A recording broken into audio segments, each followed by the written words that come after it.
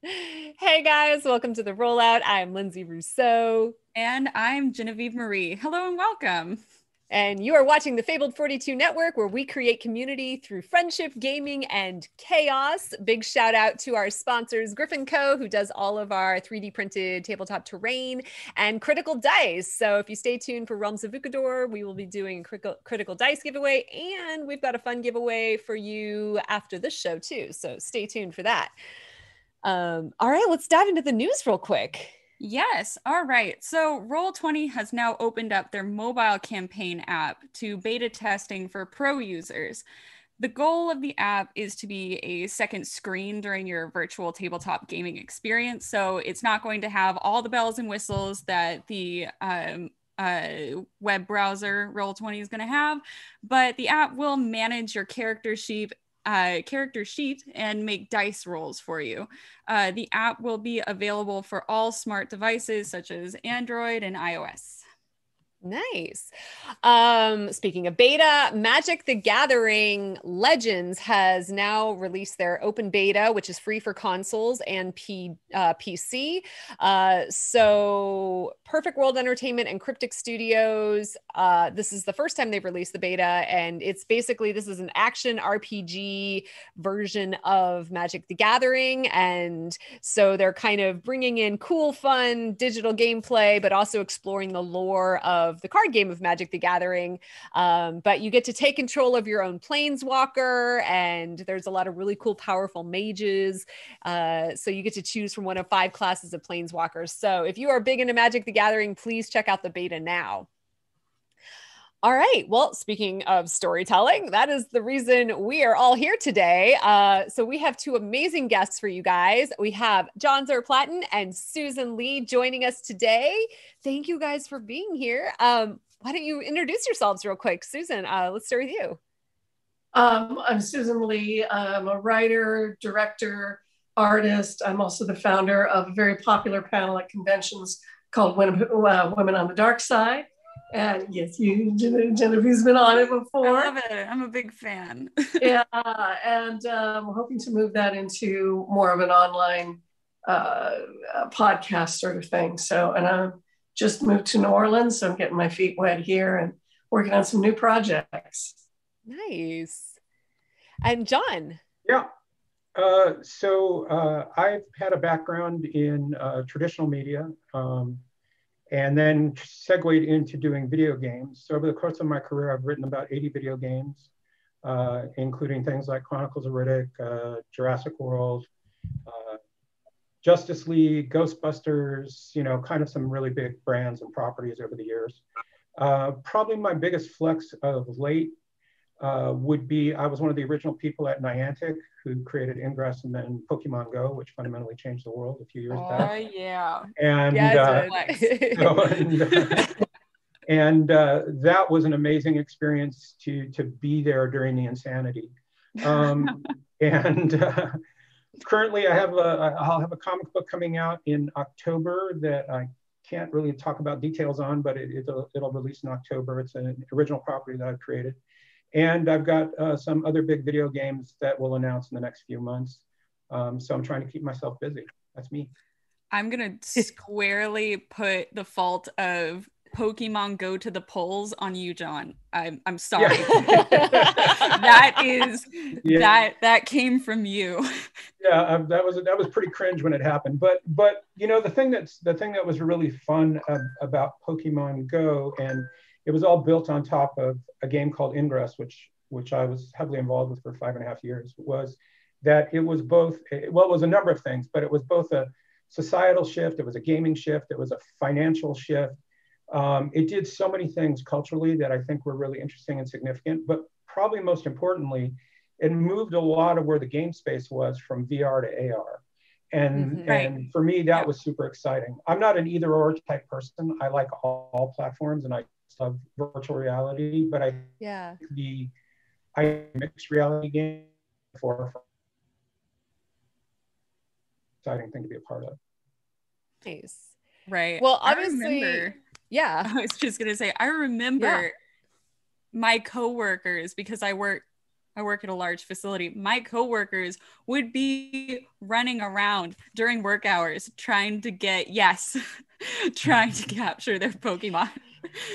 Well, and then yeah, Comic Con, what was it? Comic Con four years ago, like they yeah. set up Hall H as Pokemon Go Center because so many people at the convention. It was literally a last minute thing. They're like, okay, everyone playing Pokemon Go, go to Hall H. While there, we the Niantic Oh no. You froze, John. Bit of a glitch. Bit of a glitch. No, it's not just you. It's him. Um, okay, so obviously, you know, we'll get back to Pokemon Go, I'm sure. Um, Am I back? Yeah, there you're back. Hello. Yeah, you're still here. Well, I was just saying. I was just saying we had this thing called the Niantic Hunch, which is people would look at their phones like this when they're walking. and so we knew they were playing Pokemon Go or Ingress. Yeah. Yeah. Well, obviously, you know, one of the big things here at Fable 42 is we are storytellers. You know, we tell stories through tabletop gaming, so many different ways. And you two are, you know, master storytellers. And we just thought it would be really interesting to kind of talk about the craft of storytelling, but also in different mediums, you know, because you, we've got video games, we've got novels, we've got comic books, you know, obviously here we have tabletop gaming. And so just kind of like, how that all manifests, you know, what goes into storytelling, but then also kind of sort of the uniqueness of the different um, mediums in which you story te- in which you can tell stories. Um, I know that's a big topic, but um, however you want to dive in and address it, and crack that nut. There you go. Well, I I do it in so many different ways, and it's kind of fun because I started out as a director and I, I love nothing more than directing. And it's so fun to take a script and put it in the hands, especially when you have really good actors, and find a collaboration to really make the words that are on the paper come to life and build three dimensional characters and through, build a real space, no matter how outrageous or silly or, or uh, you know, sort of fanciful the word is. So that's always been sort of my heart and soul is uh, either writing for plays or writing for films. Uh, I've made a million short films, and uh, it's just it's so much fun to look at somebody's words and say, think about as a director, what can I do? What can I bring to the table that's going to make these words vibrant and alive, and not just have them be a recitation of the words, you know. Uh, and I think that's the same with when I write uh, prose I want it to be alive on the page. I don't want it to just be in and then and then and then and then and then and then and then. Uh, and it's been fun. I've translated a couple of properties of mine across multiple things. So I have a project called Wraith of Love. It started out as a screenplay, and then I adapted it to a comic book. And it was really difficult. It was kind of challenging because things that you would have four or five minutes on screen to tell might eat up eight pages of comic book and you have to figure out like i'm working on the second issue of the book right now. And it's all exposition but it's really important exposition. And i'm trying to decide is it worth the first six pages of the comic book to have that exposition? Or do i need to tighten it up? So it's all trying to figure out how to adapt things in in different mediums. Right because right. with comics you're also working with space. Like there's only so much that you can fit yeah on a page. Right. Yeah, and I to make, to, I default to, to, go ahead, Susan. I was going to say to, to make two people sitting and talking interesting for six pages. Yeah, is a challenge. Yeah. yeah, for me, what I what I tend to do is if I'm adapting something that starts kind of slow, but I need it to get big fast, I look at nonlinear as a way to do it. So I will oftentimes go find a really interesting place in the story and just pull it forward and just deal with that and then you know rewind the story a few days earlier and, and, pick it up. Because i think you specifically for video games you need to hook people early. You need to get them into the experience. Mm-hmm. and um, and you know video specifically with video games video games are a lean forward medium not a lean back medium. And yeah. so there's an expectation on the part of a player to be able to take control and get going. They want to start the experience and they feel like the more you keep them from getting into it, the more frustrated they'll get. So, what I try and do is make the story engaging and exciting and thrilling uh, to provide context for what the player is going to do when they're gaming, when they're when they've got control, and then get to it as quickly as possible. So, um, so you know, a scene that might be totally appropriate in a feature film or a streaming TV uh, product that could be a six or seven minute scene in video game, it, it needs to be a 45 second scene, and you need right. to figure out how to do that. So, so that's a big part of it. It's being able to kind of shorthand your storytelling, being able to get right. to the essence of it. You know, um, William Goldman had this amazing, it has an amazing concept about screenwriting that you want to enter the scene as late as you can, and you want to exit it as early as you can. And so when you uh, when you're writing for video games, you're always thinking of that in your mind all the time. Like, how late can I get into the scene, get to the important elements, and then how do I get out of it before maybe even it resolves itself so that the resolution can happen in gameplay. That's that's really the, the essence of, of writing for video games. Right. Is it a lot of leaning on show don't tell a lot of the time, or is is yeah? Like... But even more than that, it's it's play it first. If, if the if the player can actually play the play the interaction and basically have the story be something that they're in control of, that's best. Right. And after like that, you show. Then if you can't, you tell. Um, right. So like yeah, that's a, that's 100 percent accurate. Like the opening of um, the first Tomb Raider reboot game, where you know you're running through a cave like all mm-hmm. the stuff starts to compile on itself like the boat sinks you're in a cave you're running through a cave right. you kick right. some it's all exposition but you are also mashing buttons at the same time right so yeah it, you know when i started in the games business we would have these tutorial introduction sections which would be mm-hmm. somebody in a warehouse pushing things around push objects and jump on things and all of that but now we tend to tutorial on the fly. So what you want to do is get into the action and then we'll tell you when you get to the river how to cross it. And then you play it, right? Rather than starting in some place that's uninteresting.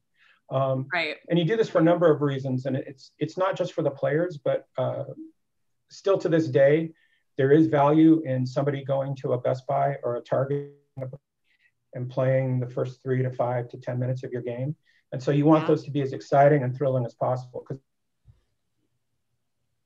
the streaming content, a lot of people will, you know, download download something to their device to their console, and they'll give it 10 minutes. And if they're not excited and thrilled after 10 minutes, you've lost them. Yeah. So, so you're constantly thinking of ways to hook them early.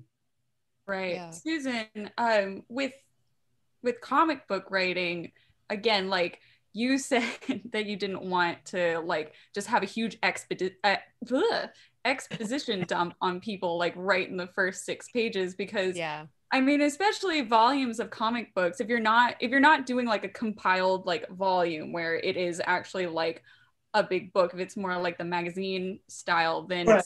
pages is a lot uh, it is how it, it is i was just going to ask how do you tinker like what mechanics do you use to tinker to cut that down or or maybe like self mm-hmm. edit well i was i was uh, taught how to make comic books by a wonderful storyteller by jeff johnson. And uh, he always was talking about again it, it still comes to show don't tell. You want to make sure that what you're seeing on the page leads the story forward even if it is two people sitting and talking. So he showed me how to do thumbnails and then rough layouts and then your final layout. So I play around a lot in my roughs and just go, hmm, I have a lot of dialogue here. Is it worth jamming all that dialogue into, you know, this big of a panel? Or is it something that I could cut a hunk of that dialogue out, sum it up in a better way? Um, it's again, if it were on screen, we could have this great conversation about things, but on paper, you don't want to read a whole lot of stuff unless it's really, really important.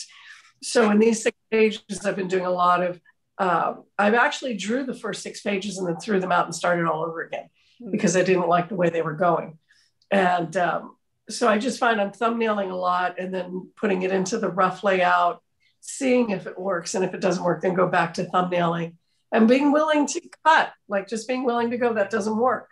What do I need to do to make it work?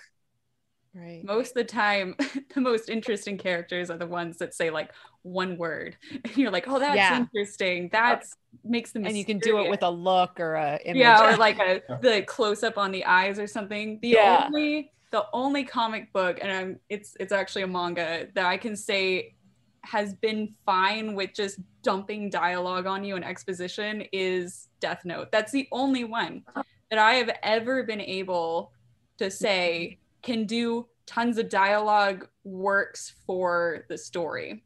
Yeah, I tend to go back yeah. to I have um, the series of Fatale by Ed Brubaker and Sean Phillips. And that's a little more my genre. I don't do superheroes. I don't do big flashy, you know, characters. Um, it's much more noir based. So when I get stuck and I'm not sure what to do, the first thing I do is I'll go over and I'll pull out those books and I'll flip through those books and see how they handled it. Or I'll go to the Marvel Noir comics because those are much more in the genre what mm-hmm. I'm doing. So I can flip through them and go, how did they handle this? How did they condense it? How do they, could I do it as a flashback? Like, how yeah. do they do it in a way that's interesting? right. I, so, what I try and do too is I always like my exposition scenes to be happening in motion. So mm-hmm. rather than two people sitting at a diner at a chair and you know sitting in chairs, I'll put them in a car. I'll put them in a helicopter. I'll have them running down the street from something. You know, I want to. I want the. I want the scenes where like I there's story that I need to get out. I still want the scenes to be happening in a way that there's a tension, there's a dramatic tension in place uh, mm-hmm. uh, that's happening on top of that scene. Um, yeah. And that's really thing that you can see in a lot of uh, writers that I really admire. Like if you go back and watch even uh, Tarantino's scenes where he's got people sitting around chairs, there's some underlying bit that the audience knows before that sequence takes place that is creating attention and is creating sort of dramatic drive to that scene. Mm-hmm. And mm-hmm. so I'm always looking for ways to do that. Um, and in the in this graphic novel that I have coming out, um, it was a challenge because two time paces, two, two different places in time, and I have uh, I have two basic point of views, kind of in juxtaposition with one another across 400 years, and so it was a challenge. But I I really I was really excited about you know trying to accept that challenge and make it work, and ultimately it boiled down to yeah how do I get these characters constantly moving, and then yeah. they can tell the and then they can talk about all kinds of stuff, but I want to have some drive happening in that scene. Feel like yeah. that's like the air the Aaron Sorkin trick of just like walking shots, walking and talking. Like the West Wing, exactly. it's nothing but like walking down hallways and talking. Absolutely. Yeah. but it's so much more dramatic. At, yeah. Right. And if you look at a lot of feature films, what they'll do is they'll they'll have the two characters talking, a crowded bar, they'll be in a nightclub, they'll be someplace where there's mm-hmm. motion. So yeah. there's always something, there's a, dyna- a dynamic element to that that you want to get into the scene, even if it's a even if it's a talky scene that needs to get out so that people can understand what's going on in the story. Um, right. I think that's really important. Yeah. Yeah. Well, yeah, John, you I, have a you have an interesting. Oh, sorry, you want to add something? Oh no, I was just gonna say. I think what makes a lot of the Marvel movies interest, not all of them, a lot of them interesting, is that while in battle and while they're getting characters from point A to point B, they do drop in lines that actually furthers mm-hmm. the story long along as well as character development like that yeah that to me is is a good they i call it puzzle piecing it's, it's a very good way to piece together the puzzle in order to get the action moving along but to also inform yeah. the audience what's happening yeah and they do it yeah. in such it's not like okay here we're going to explain all this to you it's very yeah. natural organic so you don't feel like there's a character just standing there dictating to you what's going on. Right. Yeah. Like here's who I am. Yeah. Yeah. So John, you you have kind of an interesting take, I think, on storytelling because you've worked in both original properties that you've created yourself, but you've also mm-hmm. had to develop existing properties. So you've yes. had to write for characters that are already out there in the world. Can you explain a little bit how, you know, what goes into kind of those two, that kind of juxtaposing ways of storytelling? Yeah. I- uh, oh, you no, can take a property like Jurassic World and you go, okay, mm-hmm. here's here's a big studio with a lot of very powerful people behind it, and they're handing you one of the crown jewels, and, and your goal is not to fuck it up. You know, I mean, that's really your like your whole objective is okay. How do I do this in a way that I can honor the property, uh, you know, and hopefully bring something to it, you know, that's interesting and unique. And so uh, for characters that for well specifically for Jurassic World, you know, nobody's written more Ian Malcolm than I have, you know, which is kind of a weird thing to say across all of the property, but you know, I've I've written 150 pages of Ian Malcolm, and he shows up in three or four pages in the film, the last one. So um, so you have to kind of think the way the, the, the character has been developed, but you also kind of have to anticipate the way the act has brought that to life. You know, Susan was talking yeah. earlier about how how uh, an actor really brings it off the page. And I always look at the work that I do as about 80%. Like I can get you 80% of the way to the finish line, but you really need that 20% from the actor to come in and bring all of their skills and abilities to it, to really pull it and, and bring it alive and make it sing and fly. So with some of these characters, I do a lot of research. Um, I watch, I'll watch the movies, I'll read the books, I'll go online and go to uh, fan groups and, and study and, and learn as much as I can about that character. And I also do try and research uh, interviews that the actor may have done if I'm working with an actor like, you know, Jeff Goldblum for, for Ian Malcolm. And then, and then once I've done that, I start the process of trying to write it as if I can hear them in my head. So I, I want the dialogue to feel like, would that be something they would say? And if so, can I hear them performing it in my head? And if I can, mm. I kind of know I'm in the right direction. And, uh, and then what I tend to do is the first draft, I tend to write it as if I hear the actor actually doing the performance. But when we take it to the recording studio, I go back and I take all of that out. So um, I don't want to tell Jeff Goldblum where to pause, where to repeat a word, where to put an ellipses, where to put an ah, an um.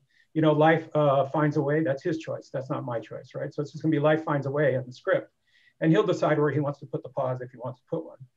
Um, and then and then that sort of goes through the process of excising but i know that i have the words right i know that i have the essence of the dialogue correct and then turn it over to the performer and see where they take it um, yeah. and so that's that's kind of the fun exciting part of, of creating in people's properties that exist is that you kind of have something to start with you know you can kind of mm-hmm. go back and go okay there's plenty of elements here i can look at and kind of go okay yeah.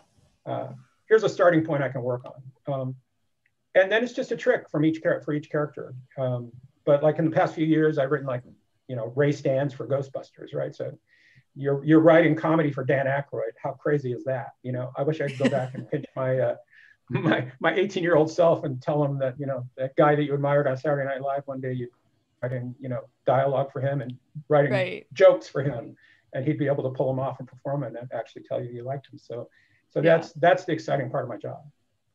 So I know like as actors, you know, we tend to have touchstones that get us like either dialect touchstones or character touchstones that kind of, you know, get us into what especially in voiceover if you're doing a multiple lots of different characters that get you into that character. Mm-hmm. Do you have that sort of similar thing for when you're writing? Do you have like a, a go-to touchstone kind of line or something that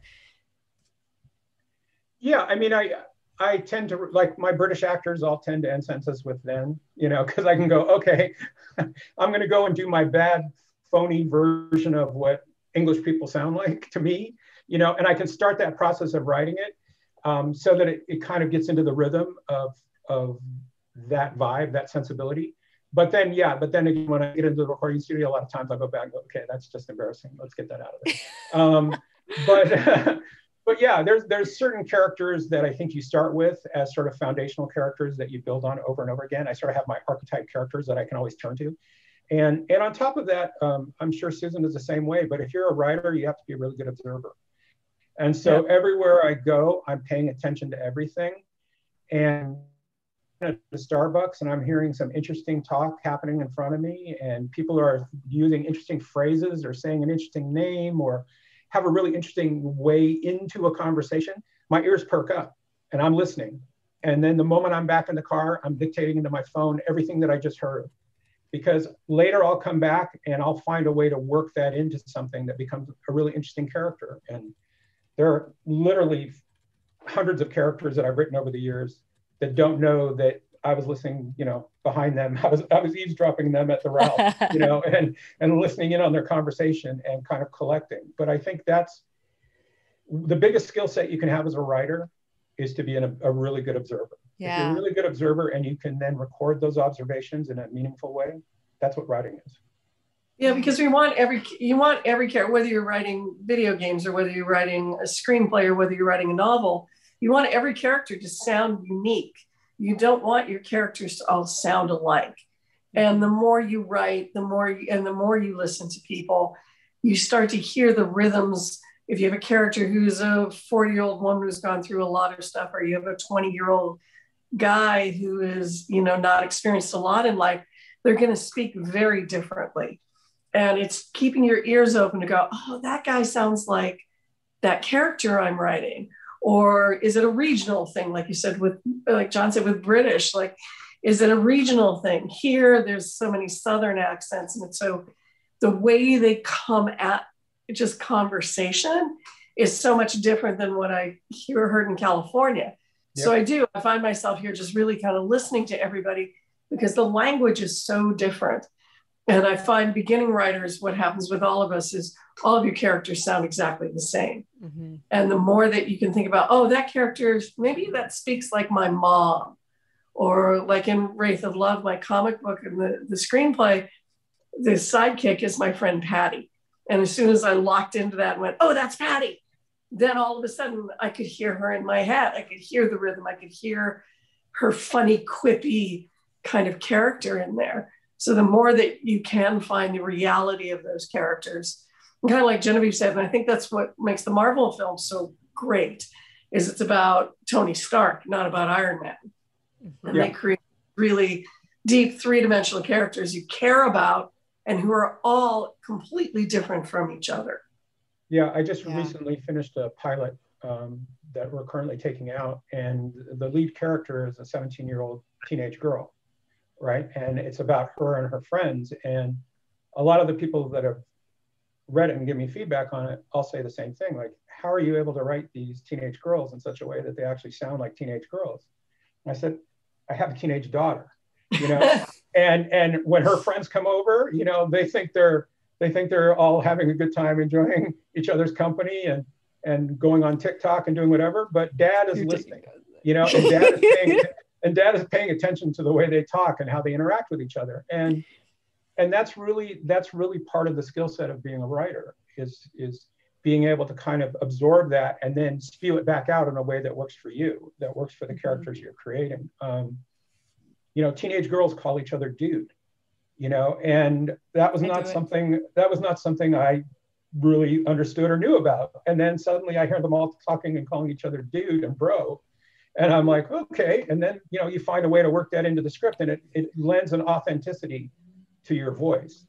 Um, mm-hmm. I was at and a conference. I, yeah, I was going to say I was at a conference a couple years ago and a very famous actress who I admire quite a bit and has done some amazing films and television uh, wants to get more women involved in production. And, and I, I'm totally on board with that, by the way. I love that concept as much as, as much as a concept can be loved. But but she said at one point, she said, well, you could just go through a script and just change the names so that some of the parts are women. And I'm like, no, you can't really do that because a good writer should be writing their women differently than men. They should be writing their senior citizens differently than teenagers. They should be writing straight and gay with certain, uh, uh, you know, sensitivities that you want to make sure you're including in your script. You know, you if you if you care about your characters, and I try and care about every character I write, if you really care about your characters, you want to honor them.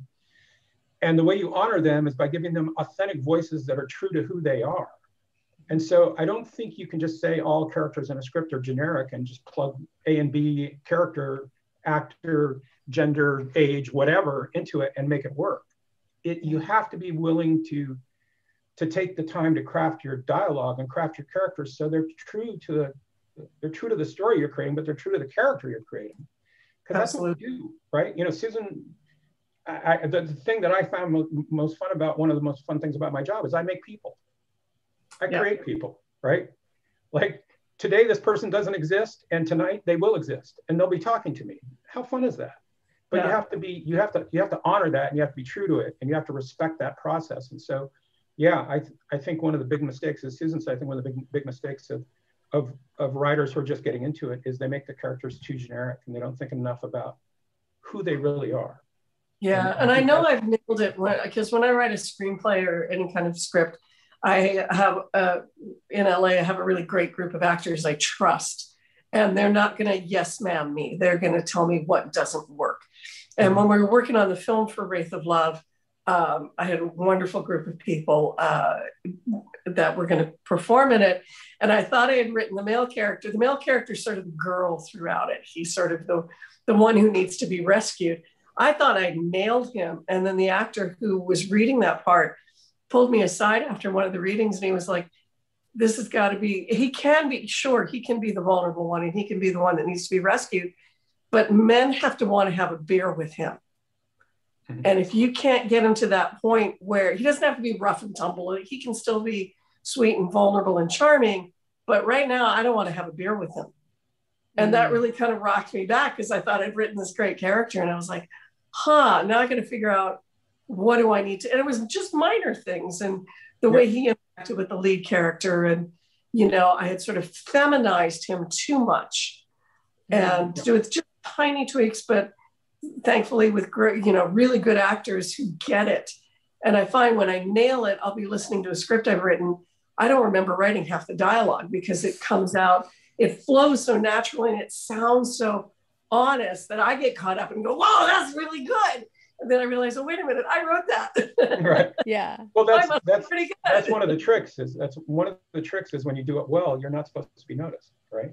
Yeah. When you're doing when you're doing when you're doing it right, when good direction shouldn't be pointing a, a finger at themselves, saying, "Hey, look at me, look what I'm directing." You know, it's supposed to just be the story. And writing is the same way. You can create a really great turn of phrase in, in a script, but if the actor shines a light on it, you kind of didn't do your job right. The, the idea is the actor flows it through their performance and you go, oh my God, wasn't that awesome? You know, a lot of times when you when you see uh, quotes, like people do screenplay quotes on the internet, and they never quote the writer. They always quote the actor or the character. And you know, and and early on when I'd see that, I always be like, oh man. But now I realize, look, the writer did their job. The writer did exactly what they're supposed to do. The, the words felt like they were coming through the performance, not something that had been written on the page. And that's that's when you know you've done it right. Um, so yeah. yeah. I never I used to be bothered by it, but I'm not anymore. Well, that was the one uh, interesting thing. Like, you know, I've I've, you know, been on set for several, especially with multicam, but you know with multicam it's a very collaborative uh you know effort. And like the writers are there. And as you know a lot of times it's in front of a live studio audience. And as they're recording like if that joke doesn't land the writer is right there writing a new one and yep. literally giving it to the actor to do it. And they'll do that like five times until they find a joke that lands. And that's the take they keep. But it's like like you said it's like you can't really always know until it comes out of the actor's mouth. Or maybe if you have an audience and you're like, oh, this was amazing on paper didn't yeah, work in performance. Exactly right. And I usually will end up either being in the studio or voice directing all the performances of the stuff that I write, um, specifically for that reason. Because, you know, what looks great on the page, and I tend to read all of my dialogue out loud and try and perform it, because a lot of times you can write something on the page, it looks great, but then you try and say it and it doesn't work, you know, and then you try and perform it and it really doesn't work the way you intended it to. And so um, so when I have a, a, large script and I take it into the studio, I, I just tell the actor, I say, if you have any problem with anything, I'm not precious about a single word on this page. If something is not working for you, say so and let's work through it and get it right. And especially for uh, actors who have created performances that are now known to an audience, um, uh, I want them to be sure that they're comfortable that they're doing it the way they'd want to do it. Um, so a lot of times, uh, you know, I'll be sitting there and I'll be doing the voice directing, and and I can I can hear it or the actor can hear it, and sometimes we'll both we'll look at each other and go, we should work on this line, right?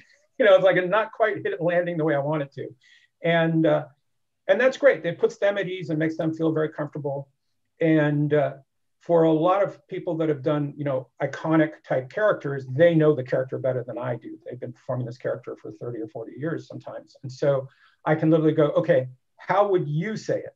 And then and then we'll work together and find the performance and then you know just rewrite it on the fly and keep going. Yeah. um, at the end of the day i still get the credits. You know it's, it's, my script even if they wrote yeah. the great lines. So um, but it, but it's been helpful uh, over the years. And and and honestly sometimes the greatest feeling in the world is when you know a known actor uh, or somebody that you've admired over the years will will do your performance. They will do the words on the page the way you've written them, and, and then point at you and go, "Yeah, that's a, that was good," you know. And then you're just like, "Oh, it's, it's the greatest feeling in the world." Yay. So, so yeah, that that's the process. You you know, yeah. I just I feel like most beginning writers get too precious about their work, and mm-hmm. and you really need to understand that you're part of a collaboration, and that you know, uh, there's there's certain screenwriting groups where people say, well, you write for the reader. No, you're, you're not. You're not writing for a reader. You're writing a script not to be read. You're writing a script to be envisioned. You know, the script is not the end product. The script is part of a blueprint of an entire product that's still to come. And that's going to require artists, directors, performers, uh, you know, prop people, got wardrobe people, costumers, everything. There's a whole other list of people that are going to be taking the inspiration that you've created and building on that to actually create something. And so right. a script needs to be envisioned. It needs to be something yeah. that people can can see in their head. It needs to be something that when they do read it, they see it as something else. And right. and and that process is a long, a convoluted process in video games. It can sometimes take three or four or five years for that to happen. So you better be damn ready for the changes because they're coming. You know? Yeah. And yeah. the revisions, the revisions are coming. So accept it. It's part of the process. Revision right. is Yeah, that's the hardest yep. the hardest part with new writers, because I do a lot of script notes and stuff like that. I worked in development for a long time. And so I'll have friends come to me and say, Can you read my script? And I'll say, Okay, do you how much do you want me to like what do you want me to give you? Mm-hmm. Do you want me to give you general, oh, this is nice, maybe do this, or do you want notes? Because right. if you want notes, yeah. I'm going to give you notes. Yeah, I'm going to go through yeah. with a red pen, and you better have big balls because I'm going to tell you what is wrong with your script. And I have I've had friends hire me for their friends, and I'll go, you got to tell me because I one friend said it ended up ending her friendship with this guy because I gave it was a terrible script. Oh, no. And I didn't hold back. And I was like, it's terrible. Like none of the characters sound authentic. They all sound exactly the same. The plot makes no sense whatsoever. and he kept going, Well, all my friends think it's great. I'm like, Yeah, did your friends work for the people I worked for? Like I worked for some yeah. pretty heavy hitters in Hollywood.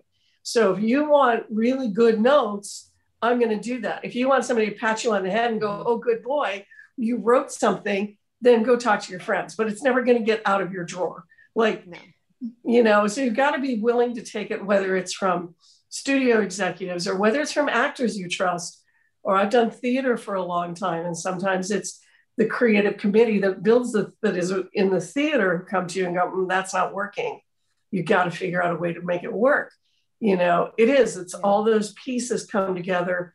When I, I, studied with susan strasberg she was my acting teacher and she always said like whatever you get don't you have no control over the whole film. All you can control is your part so do your best yeah. and do your damnedest and that's the best you can do and it might not work but as long as you know that you showed up and you did the work that you need to do that's all you can do and i think it applies to us as writers even as directors I've directed a lot of crap. There's a couple uh, things I don't want anybody to ever see because I went into it with a good script, but I got stuck with a bad cast, or I got stuck with a bad script, but a good cast. And you just, you know, you just try to make the best thing you can out of it. And hopefully you get something that doesn't make you hide in shame. Yeah. Absolutely. you... Well, and the, and the key thing too is part of your maturity as a creative is you have to be able to separate your creations from yourself. Mm-hmm. So when you when you get you know vicious notes back on something you've written, you have to realize that they're responding to the content. It's not about you; it's about what you've created. And you have to mm-hmm. be able to separate those two things in your mind. If you do, then you're never really insulted. I mean, I've gotten notes over the years that I was like, man, I could really be upset about this, but I'm not going to be, you know, because this is just, you know, you know, a 24 year old executive at a studio is talking to me about the hero's journey, like I've never heard of it before. You know, okay. now I can be, I, you know, I can be offended by that, or I can say, you know what, they're just responding to what's on the page. Mm-hmm. And, you know, that's, that's the reality. And my job is to try as best as possible to fix things in a way they're going to be happy with. And, right. and that's where you're kind of reaching a level of maturity about the content you create when you can say, look, this is what I've created, but if somebody's, you know, going after this, that doesn't mean they're going after me, right? Yeah. And so you have to be able to kind of, you know, separate it. Um, it sounds a little mercenary, and I don't mean to make it sound that way because you are passionate about what you create and right and you care about it but if you're not willing to kill your babies or have somebody tell, tell you your babies are ugly then you're you're just you're not really ready to do the to do the job because yeah. otherwise you just be miserable you know you can go to a lot of you can go to a lot of, of, of groups where there are writers commiserating in their in their in the in the awfulness of what it feels like to be a writer and be constantly under critique and criticism and how frustrating the job is and everything else. And I just want to jump in there and say, why are you trying to do it then? Go mm-hmm. do something that makes you happy. If if if writing makes you miserable, don't write. you know, you know, writing should be something you enjoy. And sure, there are going to be days where the things aren't happening and, and the, the process is, is getting you down. That's true with anything. It'd be true if you were digging ditches or programming a computer. You're still going to have bad days. But in general, you should enjoy your job. You should enjoy the process of what you're doing. If you like what you're doing, then the content you're creating is going to reflect that. Yeah. And if you're miserable about what you're doing, then that content will also be reflected in your misery. And yeah. uh, yeah, and it's it's it's something I, I just want to tell people. It's like you don't have to be miserable to do this job. You can enjoy yeah, the job, you know, and have fun doing it. I um, think it comes between like enjoying writing and enjoying it like doing it for yourself and then doing it as a job as right. an actual yeah. paying job and a business like you have to be skilled at a lot of things in order to make it in the industry in order to make it as a novelist as, as a just somebody who actually writes books and comic books as well it's not just film and tv that you have to have that business side mm-hmm. of yourself in order to make it um, yeah even as an artist i have to look at the business and separate the business from my oh, art. Yeah, oh, and yeah. I, all the time when they when they show up in Los Angeles, they hear like, "Oh, this is exciting! I'm in the film business. I'm in the music business. I'm in the game business." And they all hear the first word, but nobody hears the second word. Second word, yeah, yeah. right. And the, yeah. the the constant among all of that is business. And so, yeah, like if if you're being paid to write something for somebody, you have a responsibility, right? Yes. Mm-hmm. And so that means you make your deliverables. You know, I have this thing called ADOT, ADOT, approved deliverables on time, right? Nobody, nobody gives me credit for being a nice guy or bringing bagels on Friday or making sure the coffee machine is filled up when it's out of coffee.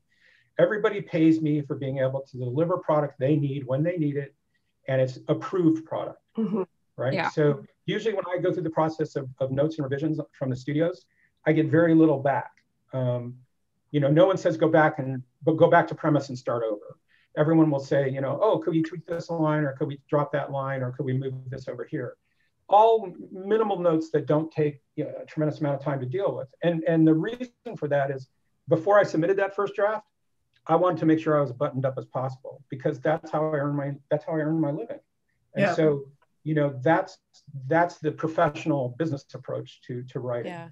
Yeah. yeah. Susan, um, I mean, because you're, you know, you're an artist, you're a novelist you have the interesting position of that when you write like you don't necessarily have a sometimes you don't necessarily have a studio to answer to like how how do you go but you do i mean there is an entire process of editing as far as like novels and, and things go. There's an entire process that you go through like you know giving it to other people to read and you know get back to you on that. How how does that process go? How do you how are you able to go through the you know the editing process when it's when it's just you when the onus is on you as the creator?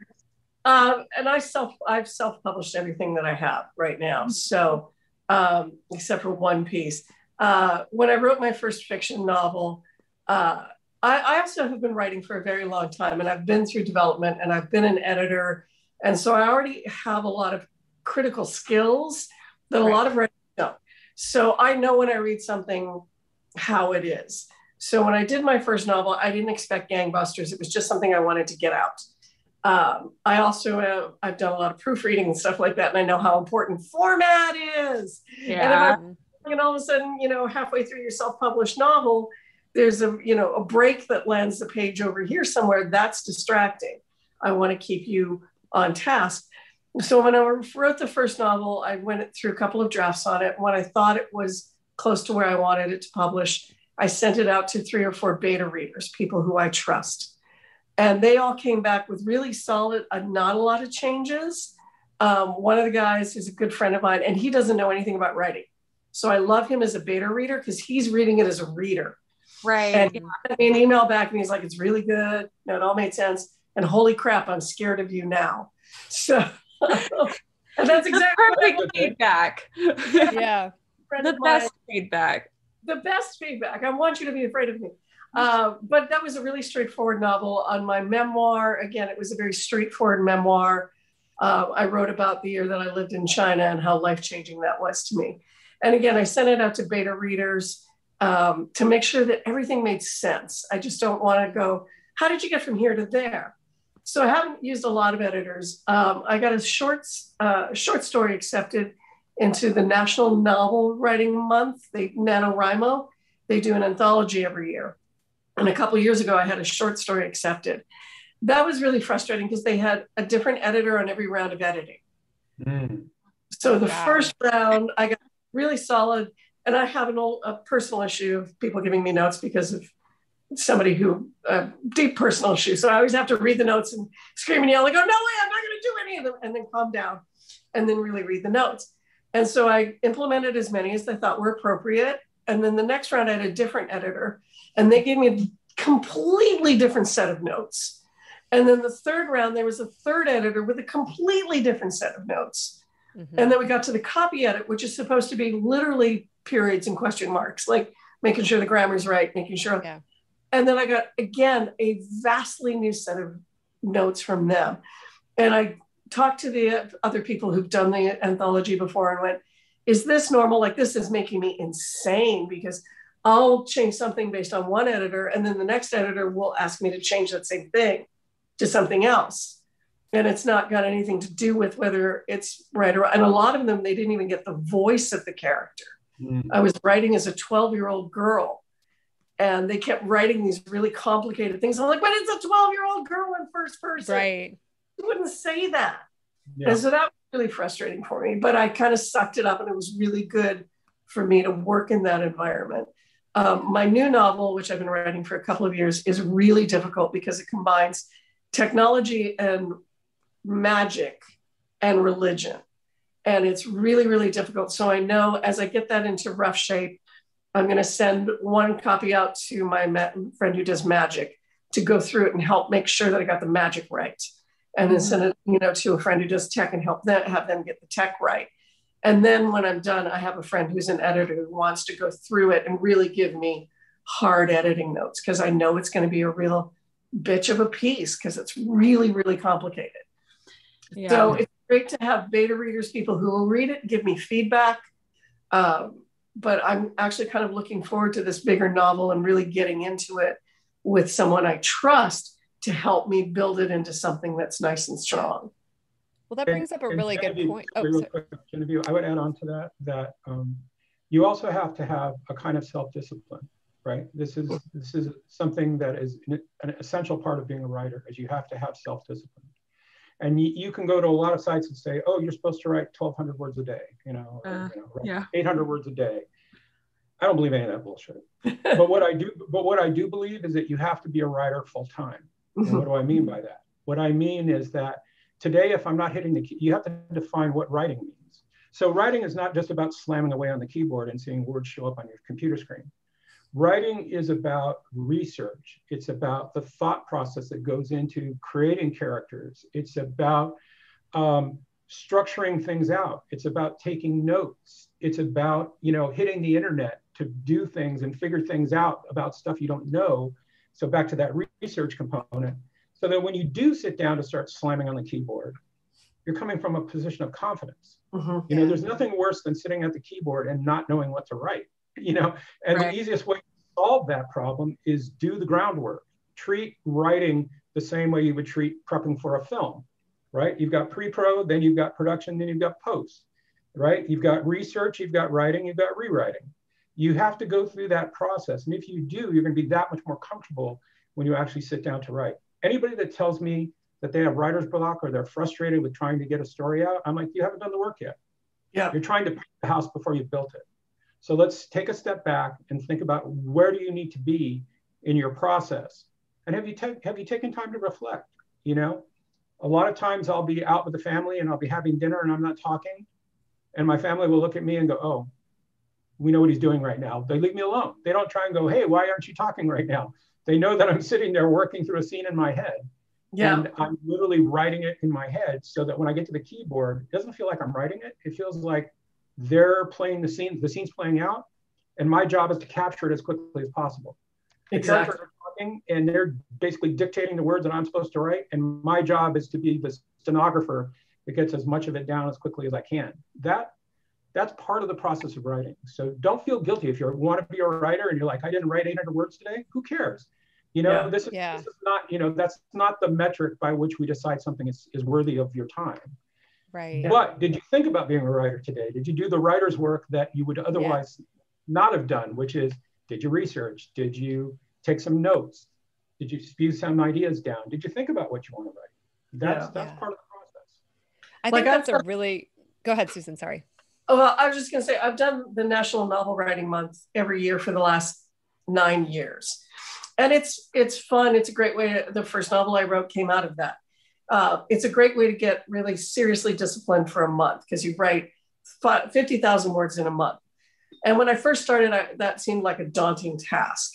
But as you go get into it, they tell you like if you're writing your character backstory, excuse me, that goes into your word count if you sat down and did a bunch of research, you're writing something in the medieval times, and you spent a couple of hours on the computer and you wrote a bunch of notes about costumes or castles or whatever, that's Mhm. all part of your word count. And I thought that's really important because a lot of, like you said, John, a lot of people don't think about that. If I'm sitting at a coffee shop with my feet up and I'm staring off into space, I'm listening to what my characters are doing. I'm not just goofing around. I'm, my brain is going, yeah, trying to work on it. And it, we do forget that the, the time when you're standing in the shower and your brain is working through the characters, it's like on this book, I've been blocked on this book. And all of a sudden, while I was driving across the country, I realized I have a character I don't know what I'm doing with.